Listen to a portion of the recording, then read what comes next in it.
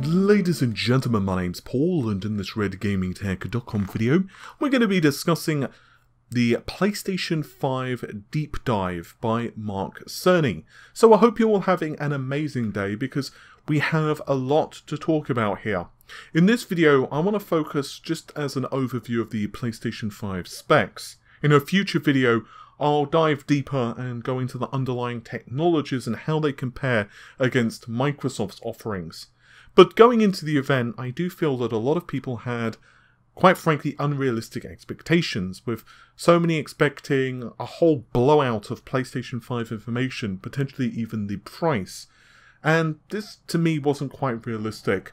After all, this conference was essentially intended for developers. It was an evolution of sorts to what Sony had originally planned at GDC. With that said, I do wish that we'd have seen some gameplay demos or at least some graphics demos of what the PS5 is capable of. As it stands, I was a little disappointed with the Xbox for limited demos, but this is even further accentuated with the PlayStation 5. I'm not saying that I expected Sony to reveal every single game it was working on, but just a few short snippets to kind of highlight some of its points would have been rather nice.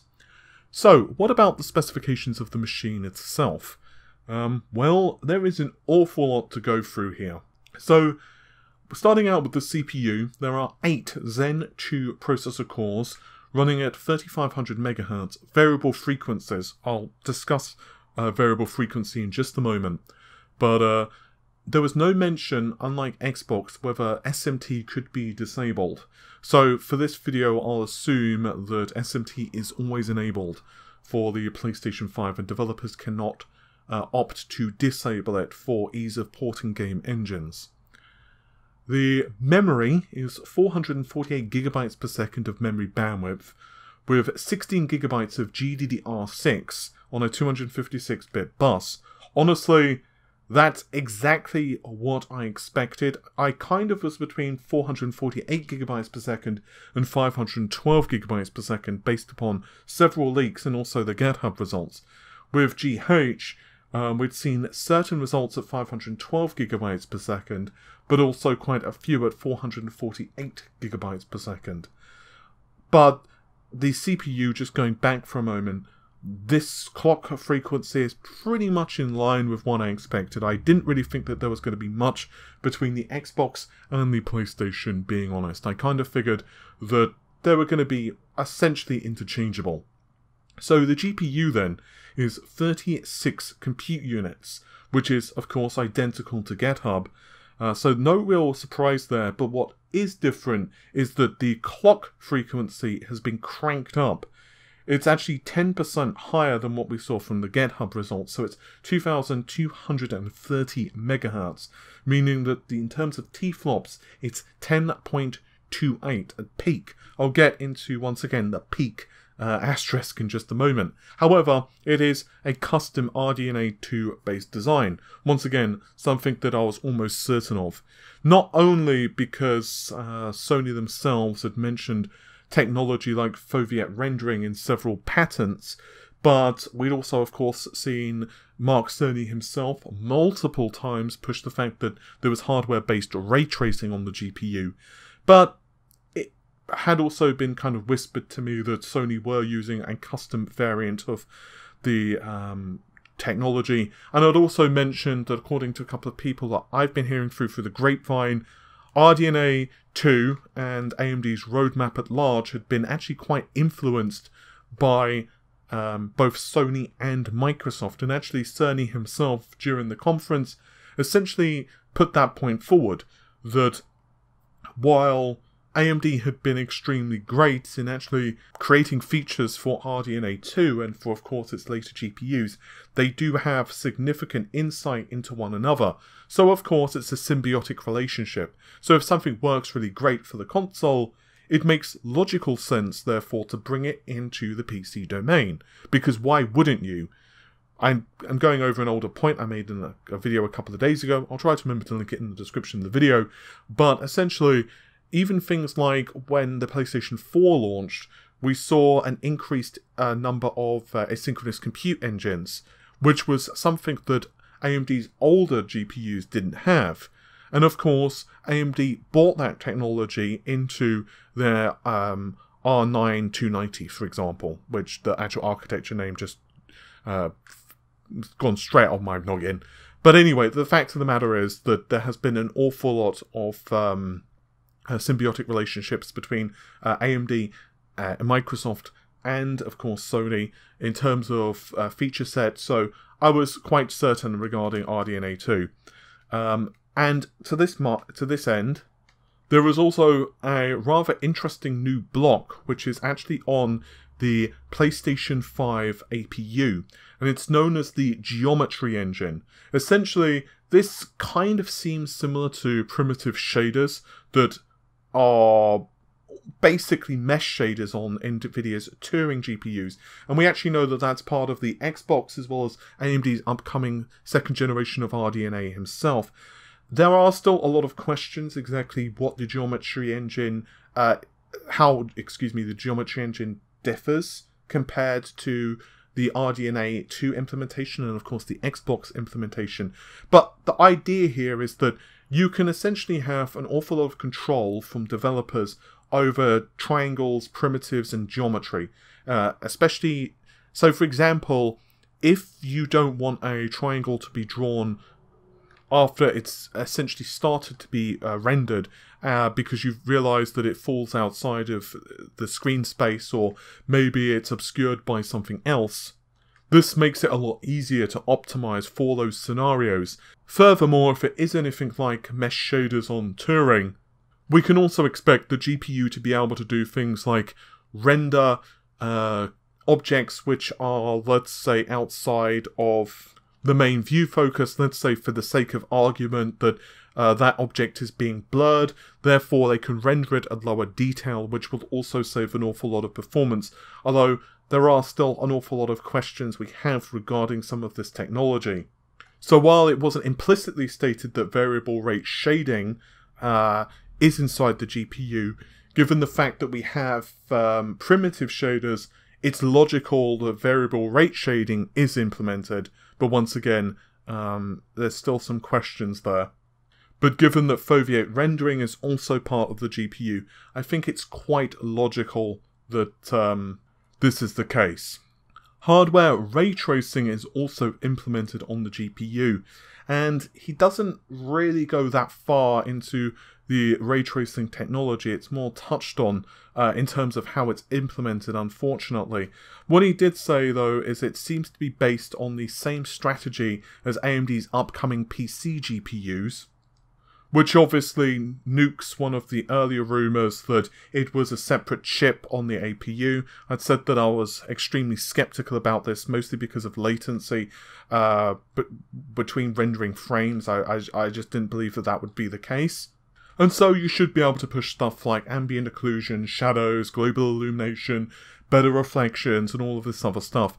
But of course, it will be down to developers to kind of figure out how to use that. According to Sony, an exact quote was, How far can we go? I'm starting to get quite bullish. I've already seen a PS5 title that is successfully using ray trace based reflections in complex animated scenes with only modest costs. Of course, when he refers here to modest costs, he is referring to frame rate. And that also extends rather well to the uh, RDNA 2 based GPU as well uh, from AMD later this year. It seems like RDNA 2 is going to be quite the beast. So, getting back to the clock speed thing, and I mentioned a couple of times now that there are variable frequencies for both the CPU and GPU. So, what gives? What exactly does it mean by variable frequency? Well, uh, a couple of days ago with the Xbox Series X reveal, I did speculate that I believe that the PlayStation 5's GPU, at the very least, could differ in terms of clock frequency. And there were a couple of reasons I speculated this. One, Microsoft's comments, quite frankly. Uh, with the Xbox Series X, they consistently were pushing that the clock speed of the CPU and the GPU were locked. Um, and companies tend to not do that in isolation because when it comes to a console, you expect locked frequencies. There are some exceptions to this rule, like, for example, the Switch, the clock speed will differ depending on whether it's, uh, say, docked or undocked, but generally speaking, the PlayStation 4 G- uh, GPU, for example, will always be 800 MHz. Obviously, if the machine is overheating, that's a completely different topic, but consistently, the GPU clock frequency will remain consistent. However, according to Mark Cerny, this paradigm has been completely and utterly turned on its head. And now, I'm going to give a direct quote from Cerny. Rather than running at constant frequency and letting the power vary based on the workload, we run at essentially constant power and let the frequency vary based on the workload. End quote. So basically, inside the uh, APU, the workload of the CPU and GPU is consistently being analyzed. So this is further explained by Cerny when he says, and I quote, rather than look at the actual temperatures of silicon die, we look at the activity of the GPU and CPU are performing and set frequencies on that basis, which makes everything deterministic and repeatable. While we're at it, we also use AMD's Smart Shift technology and send any unused power from the CPU to the GPU so it can squeeze out, quote, a few more pixels, end quote. This is actually, in my mind anyway, extremely fascinating for an approach. Uh, it's definitely very different than perhaps what you might have expected. And the smart shift idea, for those who are unfamiliar, you can actually do a Google if you'd like on Renoir um, from AMD. And they actually showed this at their financial analyst day quite extensively, Smart Shift. What it basically means is if you're running a GPU intensive application, for AMD anyway, the CPU will have a lower power envelope and instead that power will be transferred to the GPU. This is so that the uh, cooling solution doesn't have to worry about essentially dealing with more heat than it can possibly manage, but also in some scenes, quite frankly, the GPU is the bigger bottleneck. So it's like, okay, let's just make up a scenario and say that the GPU is rendering at, just for sake of argument, 1800p at 60 FPS. This is not, by the way, insider information and saying that the PS5 can't hit 4K. I'm just making an easy scenario up. So let's say that that's the case, and then the CPU is like, mm, actually, I'm kind of not being fully taxed here.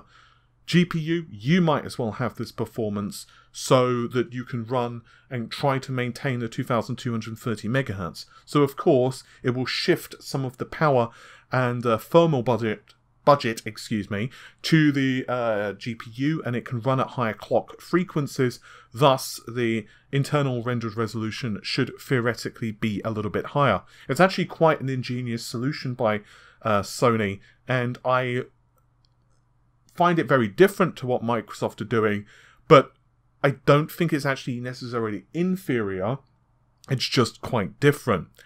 But getting back to the elephant in the room that's just knocked over all of the china and then stamping in the china, the performance, the GPU between the Xbox and PlayStation, and I don't want to go into a full deep dive between them here, but I know invariably I'm going to get absolutely inundated with messages if I don't tackle this, so I'll quickly go into it. The architecture here is very different between the two. Basically, we knew from the GitHub results way back in the day when they first leaked at the midpoint of last year that um, there was a very good chance that the PlayStation 5 GPU was a lot narrower, 36 compute units, and of course at that point it was running at just 2 gigahertz, whereas with the uh, Xbox it was instead running at uh, 2, uh, sorry, I was about to say 2 gigahertz, which would be extremely impressive, but no, it was running at um, 1675 megahertz, but with 56 compute units active. I'm going to guess that there was only 56 uh, active on the die at maximum, but even with the early engineering samples, and therefore Microsoft smartly decided to go with a slightly lower number of compute units, 52, and crank the clock speeds up. And clock frequency is just as imperative, just as important to performance as the number of compute units.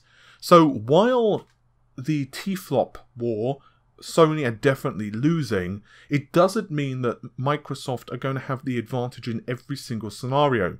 Running the clock frequency of the GPU faster means that the GPU itself can actually do more work in some instances, and the caches, for example, of the GPU can actually be faster, which means that in some workloads, the PS5 GPU may be as fast as the Xbox. I'm going to do more research on this, and I'll be very fascinated to know uh, when we have further information, excuse me, of the RDNA 2 architecture, exactly how workloads and um, compute units and clock frequencies scale because at the moment we have quite a few guesses. However, I will say that the PlayStation 5's GPU should theoretically be a lot easier to saturate and I don't think it will be any form of slouch. I think it will be extremely impressive and capable. So then, we'll leave that discussion for another time because this video is already getting a lot longer than I'd anticipated, to be honest with you. I seem incapable of brevity. I'm sure, uh, I'm sure some of you are probably quite aware of that, painfully so by this point. But, um, so let's talk instead about the SSD. Cerny himself pointed out that a request for an SSD was consistent for when he was basically shopping around asking for a wish list for the next generation consoles. And obviously, the great thing about SSDs is they're much faster, but this comes into two things. One, instantaneous access of any data, because typically on a hard drive you've got seek times. This is basically where the mechanical head of the drive needs to find the requisite piece of data on this spinning platter. But then, obviously, when you've found the data, then you need to actually read it and pull it into system memory. So SSDs are definitely a massive win there. They are much faster at pulling in data. Meanwhile, with the um, with uh, the negatives, they are obviously way more expensive. And this also means that to get larger drives, it's going to cost you an arm and a leg. According to Mark Cerny, this SSD can pull in about 2 gigabytes of data on average, I'll get to the averages in just a moment, in a one quarter of a second. So the entire 16 gigabytes of the PlayStation 5's memory can be filled in just 2 seconds. So the SSD itself is 825 gigabytes, this is not accounting for how much space is taken up by the operating system. And speaking of reserves, we also don't know how much of the CPU is reserved for the OS, and we also don't know how much memory is reserved for the OS. If I had to take a guesstimate, I would say it's going to be one core, exactly like the Xbox, and it will be around 3 gigabytes of memory as well, reserved for the OS. Uh, that's the RAM, of course, but I'm basing this on the Xbox numbers and what was consistent with the last generation. So I could be totally off with that, and it could be, you know, 5% of a processor core. So don't quote me, I'm just guessing.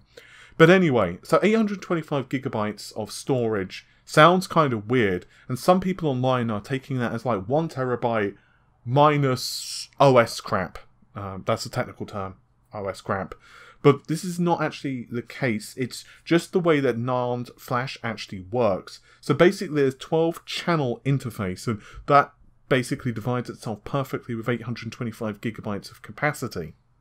Unsurprisingly, it is a PCI Express 4 interconnect and can support 5.5 gigabytes per second of raw speed.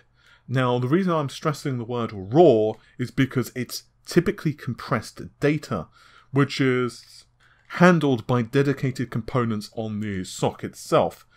And in terms of decompressing comp- performance, it can be equated to 9 of their Zen 2 processor cores. This closely mirrors, by the way, what Microsoft said regarding the Xbox Series X that the uh, compression algorithms they've got, the uh, decompression would take around 5 of their Zen 2 cores. So essentially, this is very similar, but Sony's solution is faster than Microsoft's.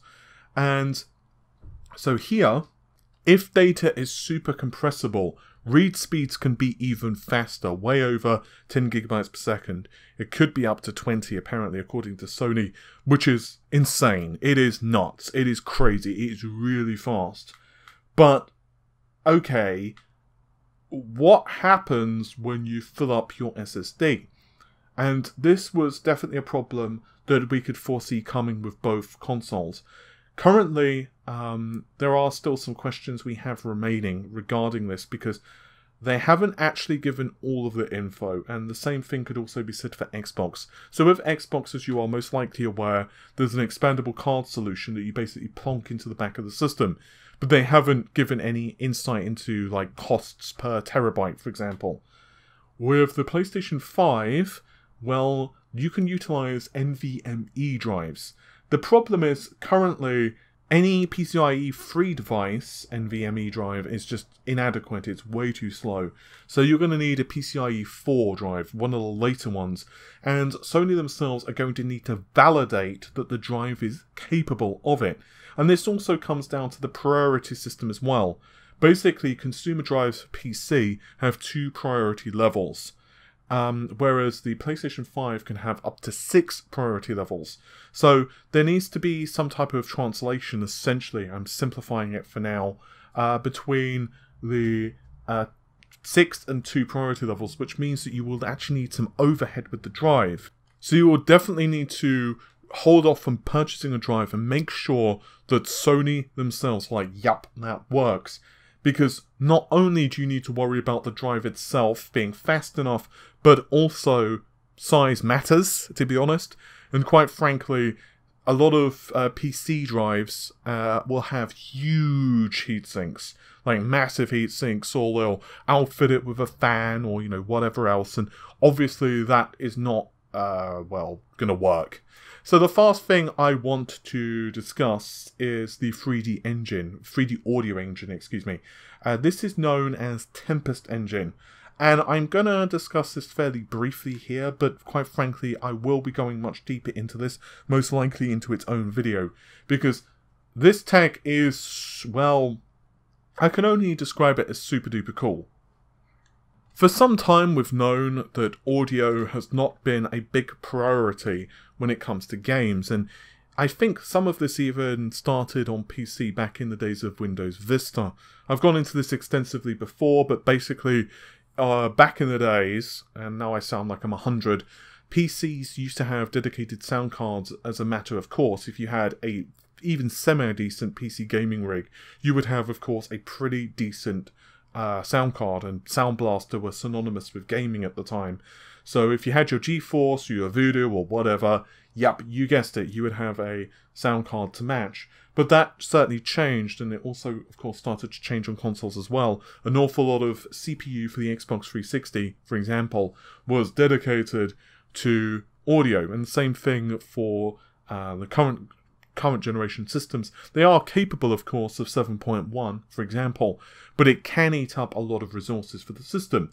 Microsoft have been pushing its own solution, and, well, now Sony do as well, with a bespoke unit, uh, once again called the Tempest Engine, and according to Mark Cerny, it's capable of 50 uh, sound sources. And according to Mark Cerny, it's capable of dealing with hundreds of sound sources at much higher quality than what we saw from the previous generation.